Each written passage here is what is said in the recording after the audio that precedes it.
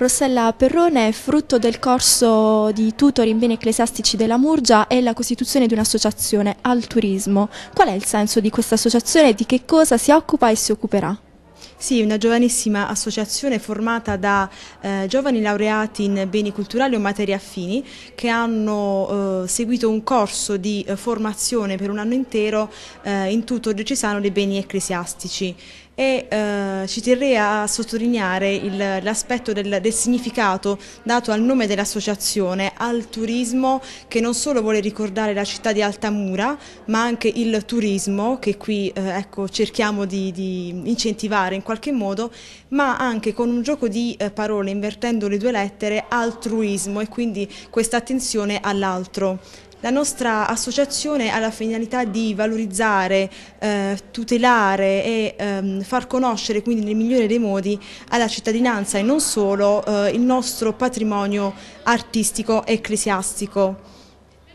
Siete dei giovani che comunque hanno già fatto un percorso universitario di studi, a questo si è, si è affiancata una specializzazione attraverso questo corso? Certo, questo corso di formazione eh, così impegnativo è stato un modo per approfondire e eh, conoscere meglio i beni ecclesiastici della nostra diocesi, in particolare sulla città di Altamura.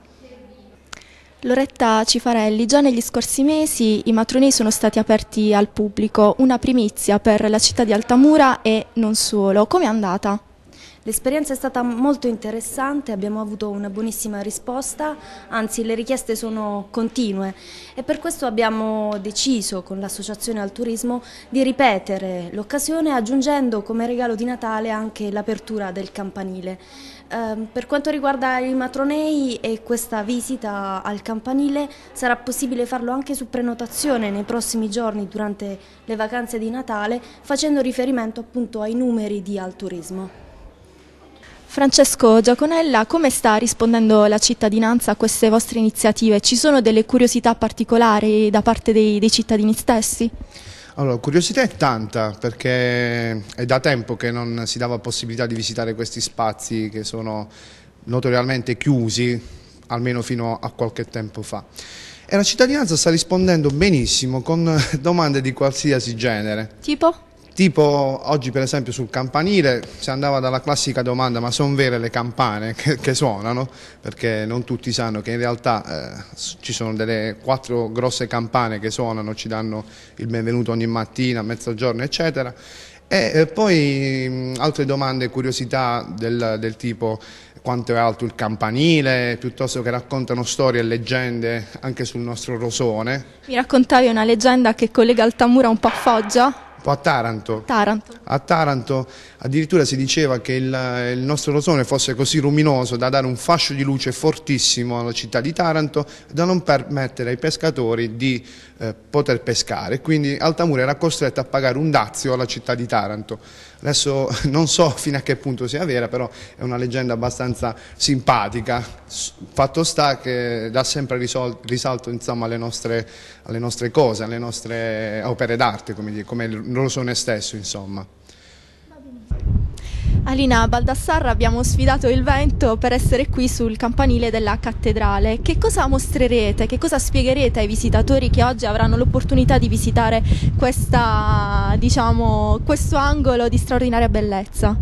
Sì, è un angolo di straordinaria bellezza che va verso l'alto e permette quindi di, ad ogni visitatore di poter avere un colpo d'occhio meraviglioso sulla nostra città e su quello che, mh, sul circondario della nostra città perché si riesce appunto a vedere se si focalizza bene l'attenzione, riusciremo anche noi come i marinai di Taranto a scoprire, a scorgere il golfo di Taranto.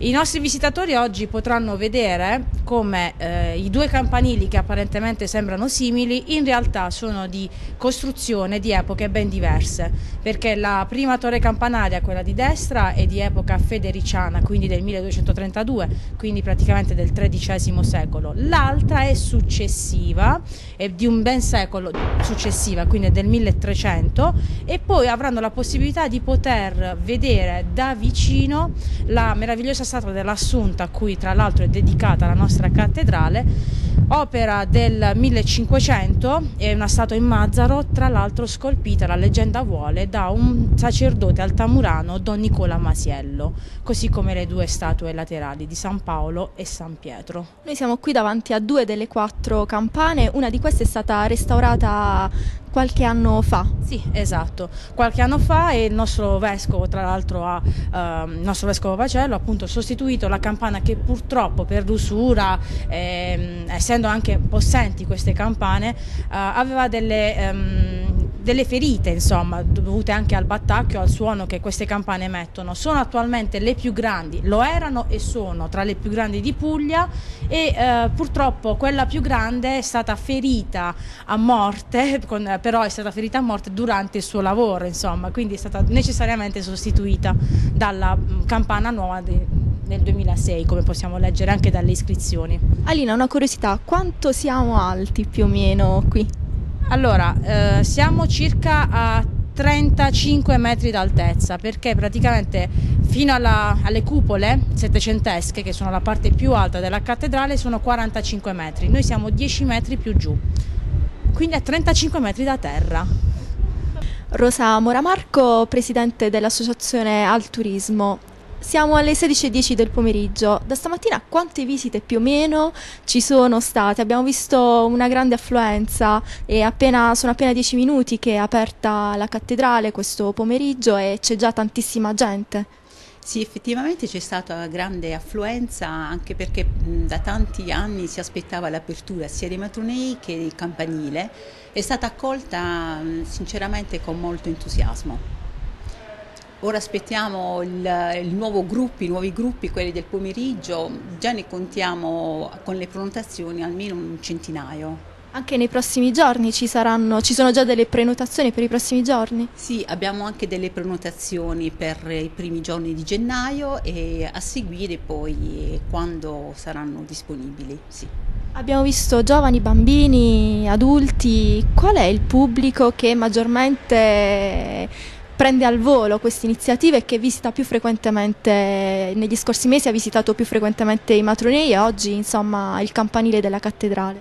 Sembrerebbe strano, ma è stata accolta da una grande fascia di età, sia dai ragazzi eh, ovviamente per una novità e anche per molti altamurani che anche se adulti non avevano comunque visitato effettivamente quella che poi è un bene molto prezioso, la nostra cattedrale poi grazie alle nostre guide hanno potuto anche sapere la storia e non rimanere soltanto nella parte visiva della, diciamo, della, della cattedrale, quindi conoscere anche la storia è stato utile per tanti, sì.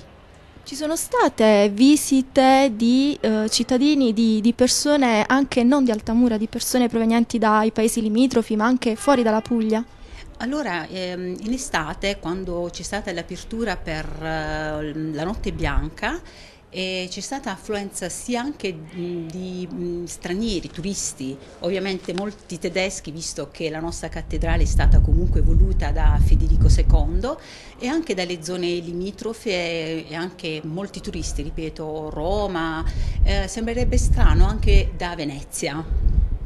Lei che è nel settore, Altamura potrebbe puntare sul turismo, sul turismo locale?